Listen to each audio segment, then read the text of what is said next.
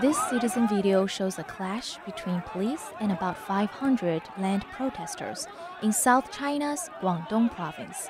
Witnesses say police used tear gas against protesters. They say about 10 people were injured in the scuffle. One local resident told RFA that scores of people were detained and that six people remain in police custody. Local residents say government officials seized their land and sold it for a profit.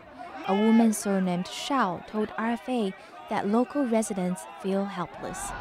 Clashes between villagers and authorities over land seizures are common in China.